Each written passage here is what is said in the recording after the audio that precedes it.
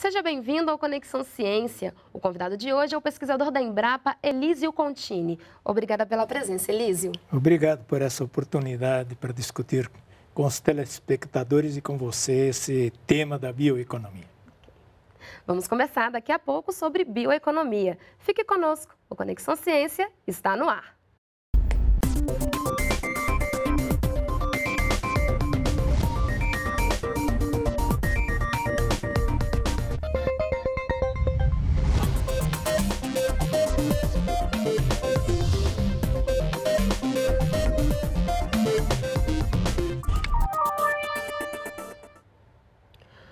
Produtos de origem biológica estão cada vez mais em alta. Na agropecuária e na área da saúde, por exemplo, a transformação de recursos biológicos em produtos é uma tendência que tem impulsionado um segmento conhecido como bioeconomia.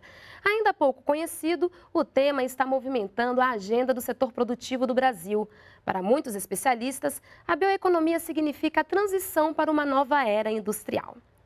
Então, Elísio, vamos começar explicando o que é a bioeconomia. A bioeconomia eu definiria como a valoração ou colocar valores, preços a produtos da natureza, a produtos vegetais e animais. Por exemplo, se você tem uma flor no campo, em princípio essa flor não vale nada. Agora, se você colher essa flor e vender no mercado, você está é, produzindo valor a um produto natural que é essa flor. E existem outras áreas muito mais sofisticadas. Se você pega um ingrediente da Amazônia, por exemplo, da mata amazônica, e você extrai daí um produto, um medicamento ou um perfume, você está criando valores para esse produto, você está criando bioeconomia no processo. Uhum. Mas como é que esse conceito ele, ele foi construído, né? Desde os primórdios da, do homem, vamos dizer, que começou a cultivar as plantas, uh, existe bioeconomia. O fato de você pegar uma planta e selecionar e produzir um arroz mais produtivo, isso também é bioeconomia. Você está valorizando uma planta que antes não tinha valor e produzindo arroz e vendendo no mercado ou comendo este produto. O que há de novo nisso? É de que a ciência veio para dar um novo impulso a esta área da bioeconomia. Você tem a biotecnologia, você tem a nanotecnologia, você tem uma série de a, a bioquímica que está extraindo de produtos naturais é, outros elementos. Eu vou dar um outro exemplo que é, por exemplo, os plásticos. É, o plástico, ao invés de você produzir por origem do petróleo, que é um recurso finito, você tá, pode produzir através do bioetanol, do álcool, você pode construir casas com resíduos vegetais, tudo isso é bioeconomia. Além de ser também uma produção mais limpa e sustentável, é isso? Sem dúvida. Uhum. A preocupação é de você usar cada vez mais produtos que você possa renovar, que você possa plantar, que você possa colher, você planta de novo, não é um produto finito. Uhum. Então, essa é a onda, principalmente com muita força na Europa, e o Brasil está entrando nesta onda também para usufruir desses benefícios que para nós são muito importantes nas dimensões que nós temos, na agricultura fortíssima que nós temos e passa por processos mais modernos hoje, como a bioquímica, como a química fina. Tudo isso nós podemos produzir a partir de produtos naturais. Uhum. E por que, que o Brasil ele tem um, um potencial né, é, para atuar nessa área? Bom, o Brasil é muito grande, tem seis biomas, quer dizer, áreas com certa diferenciação, como Pantanal, a Amazônia, a Mata, Mata Atlântica. Você tem uma série de ecossistemas diferentes do que outros países pequenos, muitas vezes. Uhum. Então, você tem uma riqueza de biodiversidade que você pode aproveitar e realizar produtos, produzir produtos, faz, fazer desses produtos novos produtos, colocar no mercado, tanto interno como internacional. Eu acho só que nós estamos aproveitando muito pouco ainda dessa biodiversidade e transformando, vamos dizer, em economia, transformando eh, em valor. E o que está faltando, então, para dar um impulso maior? Primeiro é pesquisa. Né? Você tem que começar com pesquisa, identificar o produto e depois tratar deste produto, levar até o mercado. Depois você tem que industrializar, tem toda a cadeia, desde a pesquisa até o consumidor final, seja do mercado interno brasileiro, seja do mercado internacional. Você tem toda essa cadeia que você tem que contemplar. Uhum. Se você contempla só a pesquisa e não faz a parte de processamento, o produto fica capenga. Ele não, não, não chega até o consumidor final. Você tem que ter, todos os elos têm que ser desenvolvidos. E, e como é que está a situação do Brasil, então, é, nesse processo todo em relação a outros países? Bom, eu creio que, há, por exemplo, países da Europa estão um pouco mais avançados. Por exemplo, a Alemanha, que já procura produzir mais produtos da, de origem vegetal e transformá-los em produtos, vamos dizer, industriais, como plástico, como outros produtos de natureza, vamos dizer, ao invés de você utilizar metais, utilizar produtos de origem vegetal. Mas nós não estamos ruins. Ah, o que o Brasil fez de muito bem feito até pouco tempo foi o etanol, que é um produto renovável, um produto que é da bioeconomia, é o grande exemplo que o Brasil deu, que você poder, é, poder tirar energia para automóveis e energia, inclusive, para a rede abastecer as residências com um produto renovável que foi que é o etanol que provém da cana-de-açúcar. Uhum. Esse é o grande exemplo que o Brasil deu e mostrou ao mundo que é possível você ter uma energia renovável. E qual é a estratégia, então, da pesquisa né, para atuar mais fortemente nessa área? Primeiro, prospectar o que nós temos de biodiversidade. A biodiversidade é o elemento primeiro que você tem que é, ver, conhecer, caracterizar e depois tratar de domesticar em alguns, alguns casos. Né?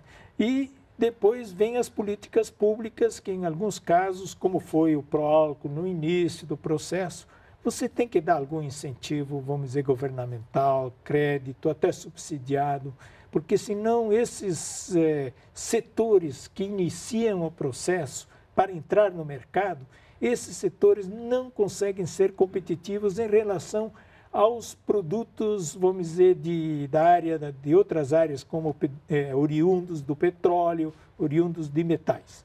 Então, eu acho que temos, primeiro, pesquisa, segundo, políticas públicas, e terceiro, a iniciativa privada, que tem que entrar forte nisso tem que aproveitar as oportunidades. A iniciativa privada brasileira é muito eficiente. Agora, sempre nós temos que caminhar com perseverança e organização.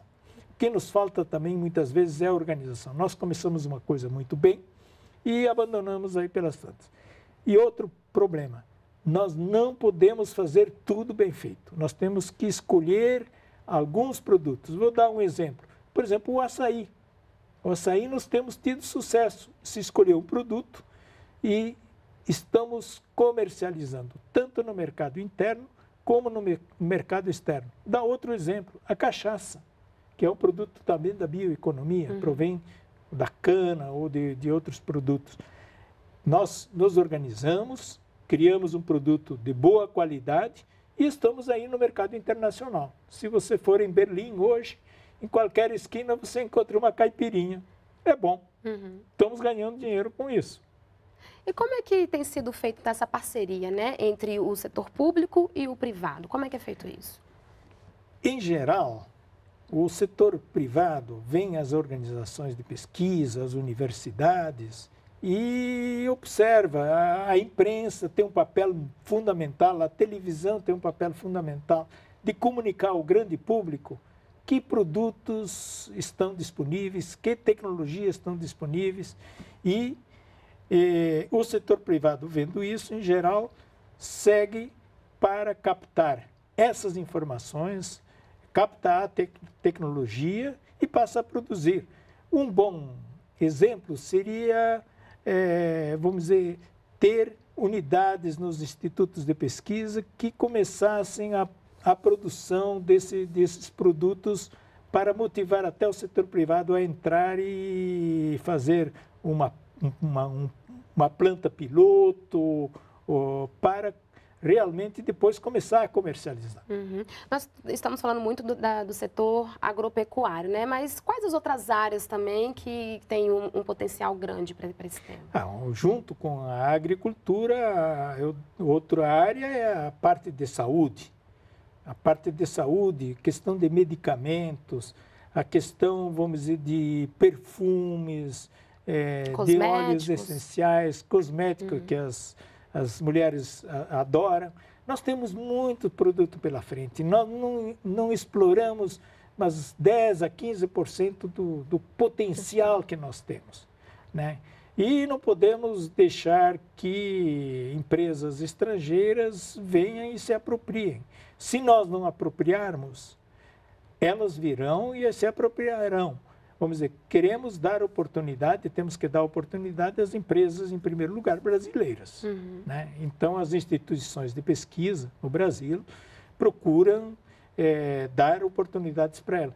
Existem outras áreas, por exemplo, é, as áreas de, de produtos biológicos para controle de doenças, para controle de mosquitos. temos enormes áreas que nós podemos criar. Um outro exemplo que ah, foi muito utilizado é produtos vegetais para substituir o nitrogênio, que foi a fixação biológica em soja, por exemplo, que hoje você não precisa mais colocar nitrogênio, mas é um produto biológico que você coloca na semente e a partir daí a planta, a própria soja, extrai o nitrogênio que precisa do ar, uhum. que é muito bom. Uma tecnologia barata, e que é amigável até o meio ambiente. Aqui no Brasil ainda o tema é tratado de forma um pouco dispersa, né? Está sendo construída alguma, algum tipo de agenda nesse sentido sobre é, a bioeconomia no Brasil? Bom, as instituições de pesquisa, basicamente, trabalham com bioeconomia. Uh, os empresários trabalham muito em agregar valor a produtos, eh, até os pequenos produtores estão tentando produzir produtos mais elaborados, isso agrega valor, isso também é bioeconomia. Agora, nós precisamos escolher setores e nos organizarmos melhor. Né? Por exemplo, essa questão que fala muito de produtos artesanais. Acho que um bom, um bom modelo para agregar valor neste processo é denominação de origem, criar produtos diferenciados. Tudo isso cria valor e agrega à bioeconomia valores para os produtores e também para os consumidores. Esse é o nosso objetivo. É, e tem alguma agenda específica para trabalhar juntamente com os produtores, por exemplo, a pesquisa com os produtores nesse sentido? Existe um trabalho específico? Não, existem, vamos dizer, eh, pesquisadores que procurem identificar nas propriedades, inclusive, e também, eh, vamos dizer, em áreas de reflorestamento, em áreas de proteção ambiental, produtos novos que tenham potencial econômico no futuro. Mas disso você tem um longo caminho a percorrer. Alguns produtos precisam ser domesticados, você tem um trabalho de melhoramento genético, de melhorar a planta para que seja mais produtiva. Foi o caso de soja no Brasil. No início nós produzíamos uma soja com 1.000, 1.500 quilos por hectare. Hoje estamos produzindo com 3.000. Então, é uma conjugação de uma cadeia que tem que ser olhada toda ela e atacar todos os pontos. Se você deixar algum ponto fraco, como é, defensivos, como fertilizantes, você não terá sucesso no processo. Uhum. Né? E eu diria que uma agenda, você tem que criar alguns programas. E nós sempre, quando falamos em programas, pensamos no governo federal. Acho que aí é um campo muito fértil para ações, até pequenas, dos municípios e, e, dos próprios estados. Os estados e municípios acho que tem que entrar muito mais forte na identificação e valoração de produtos regionais. Uhum. E como é que é estimular né, o uso desses produtos, por exemplo, por parte dos consumidores, é, já que os preços, no caso de um produto de origem biológica, é diferenciado em relação ao produto que nós temos hoje? Pode ser um pouquinho mais caro uhum. até, mas eu acho que a sociedade brasileira e, e mundial, aliás, essa é uma tendência, está valorizando sobremaneira os produtos naturais. Então você tem um mercado. Hoje, é, de classe média para cima, até classe C e D, tem uma consciência de que coisas naturais são, em geral, melhor do que coisas artificiais, do que produtos artificiais e industriais. Então, nós temos um mercado muito amplo e tem grandes empresas já explorando isso, como medicamentos naturais. É, vamos entrar neste processo proximamente de um uma interação progressiva e forte entre alimentos, nutrição e saúde. Você produzir alimentos que são saudáveis ou você produzir alimentos no futuro que já contenham componentes uh, uh, uh, biológicos, eh, antibióticos, eh, esses são ramos que no futuro vão entrar forte, que é a nova ciência do futuro. Uhum. A gente pode dizer que é, qual setor hoje está mais avançado é, nesse aspecto? A agropecuária, ela está bem avançada, né? Ela seria o mais, o mais avançado? Eu acho que os dois setores, saúde, tem produzido alguns produtos, é, por exemplo, transgênicos, né? É, insulina, está muito avançada uhum. no, no, setor de saúde. É, medicamentos, menos, eu acho que há campo ainda para você ter medicamentos. Agora, a agropecuária é essencialmente bioeconomia. Nós trabalhamos é, em plantas, animais, que o objetivo é que tenham valoração, que tenham preço, que sejam comercializados no mercado. Esses todos são componentes da bioeconomia. O que vem por aí na frente são produtos mais sofisticados. Né? São novos produtos, eh, novas frutas, por exemplo, a biodiversidade que tem na Amazônia. Nós não exploramos eh, nem 10% do que existe ainda. Nós estamos eh, produzindo, coletando algumas castanhas, alguns produtos da Amazônia, mas existe muito mais que pode ser aproveitado, que é bom para o consumidor urbano, que hoje nós somos uma sociedade do Brasil, uma sociedade urbana já, com uhum. 86% da sua população no, no, nas cidades. Né? É bom para essa população, é bom para os produtores, que vão ganhar um pouquinho mais de dinheiro, e é bom também na comercialização internacional, que gera divisas. Eu acho que uhum. nesse processo de avançar da ciência, por exemplo, a bio, bioquímica, que identifica uma nova molécula dentro de um produto e que transforma esse produto num novo produto. Né? Tudo isso são coisas que estão sendo criadas em laboratório e estão começando a entrar, é, vamos dizer, na, não diria na dieta direta, mas nos produtos que estão sendo comercializados via agroindústrias. Então podemos dizer que estamos realmente vivenciando uma nova era industrial é uma nova era que eu diria agroindustrial, né? uma nova era da bioeconomia. Né? Nós vamos nos próximos 10 a 20 anos observar coisas como está na parte de comunicação, um tremendo progresso, novos métodos, novos eh, meios de comunicação. Nós vamos observar com menos rapidez, mas também na agropecuária, mudanças significativas. Nós já tivemos, por exemplo, a, a industrialização do processo de criação de frangos e de suínos. Ele pouco tem a ver com quem, como nós produzíamos frangos e suínos há 50 anos. Né? Hoje, praticamente, é uma biofábrica.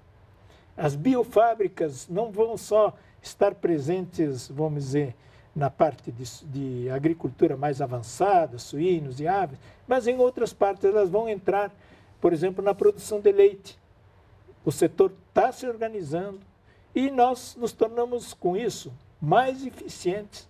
Nós podemos ofertar da agropecuária um produto melhor, de melhor qualidade e inclusive mais barato. Se você olhar, oh, Juliana, a, a curva de preços da cesta básica de 1975 a 2013, a cesta básica que compõe arroz, feijão, milho, óleo, os produtos essenciais, ela reduziu em praticamente 47%. Ela ficou 47% mais barata. Qual é o benefício para a dona de casa, para a família? É que com essa economia, que gastava mais dinheiro em comida, com essa economia ele pode comprar outros produtos, eh, vamos dizer, comprar uma casinha, comprar um armário, comprar outros bens industriais. Com isso se movimenta a produção e também o bem, aumenta muito o bem-estar das pessoas. Elise, como é que está a questão da regulação sobre esse tema? Bom, muita coisa já está regulado, está no mercado, como produzir alimentos em geral. O que pega é, alguns pontos é, foi, por exemplo, a parte de regulamentação dos transgênicos, que nós demoramos muito nesse processo, foram muitos anos de discussão, questões jurídicas que emperraram o processo. Mas, no final, a sociedade brasileira tem uma regulamentação adequada, uma das mais adequadas, vamos dizer, é, no mundo, e nós andamos nisso. O que pode haver aí é, alguns produtos que venham a ser, é, vamos dizer, produzidos via mudanças de moléculas, novos produtos que vão surgir, etc. Esses podem sofrer ou ser necessário uma regulamentação para quê? Para proteger principalmente o consumidor. Quer dizer, nós temos que proteger o consumidor brasileiro e o consumidor do exterior em relação a produtos de qualidade. Não pode, por exemplo, você ofertar um produto devido a um mix que cause alergias. Isso seria ruim e vai criar problemas até para a saúde. Nós temos que contribuir, agricultura, produção de alimentos e outros produtos, nós temos que contribuir para a saúde e para o bem-estar. Este é o nosso objetivo. Né? Então, é, regulamentação é necessária, mas o Brasil tem uma regulamentação relativamente bem feita. Talvez haja alguns problemas na área de defensivos ainda, que demora muito o processo e podemos, vamos dizer, melhorar, inclusive questões é, até de governo que, por exemplo, alguns órgãos é, têm algumas superposições. Mas é um trabalho a ser feito e não acredito que venha atrapalhar o desenvolvimento da bioeconomia no futuro. E é possível, Elisa, então, que o Brasil chegue a ser líder né, nesse segmento aí? Eu acho que já é. Junto, vamos dizer, se você colocar Estados Unidos, se você colocar alguns países da Europa, talvez Alemanha, mas o Brasil, na questão de produção de, de agroenergia, tem sido líder, agora está eh, enfrentando alguns problemas. Na questão de alimentos, para você ter uma ideia, nós exportávamos em, no ano 2000, não são muitos anos, são 13 anos apenas, nós exportávamos 20 bilhões de dólares. O ano passado, nós fechamos o ano 2013 com quase aproximadamente 100 bilhões de dólares de exportação. Então, em 12, 13 anos, nós multiplicamos por 5 as nossas exportações. E o que, que significa isso também? É uma garantia de que o mercado brasileiro, que a sociedade brasileira está abastecida. Que nós temos produtos bons, hoje entre produto exportável e não exportável não existe muita diferença. Né? Temos produtos bons, de qualidade, e a sociedade brasileira está eh, relativamente abastecida a preços razoáveis. Aumentaram um pouco os preços nos últimos meses, eu acredito que isso seja um pouco conjuntural e que nós tivemos problemas de seca, em algumas regiões do Brasil, do Brasil, tivemos aumento de custos do milho, do soja, que são insumos fundamentais, por exemplo, para carnes, mas aos poucos nós devemos retornar a um patamar mais elevado que estava é, no início de 2013, um ano atrás, mas também que não venha comprometer, vamos dizer, a alimentação do povo, que ninguém passe fome por causa dos preços elevados. Ok, doutora Elise. Infelizmente, nosso tempo acabou. Oi. Muito obrigada pela entrevista e até uma próxima oportunidade. Obrigado, Juliana, pela oportunidade de falar sobre bioeconomia e com os telespectadores, obrigado por nos terem prestigiado e vamos avançar nessa área. Certeza. E o Conexão Ciência fica por aqui. Você pode conferir na página da EBC na internet os dias e horários das reprises, ou se preferir, na página da Embrapa. Assista ao programa também no canal da NBR no YouTube. Obrigada pela companhia e até a próxima semana.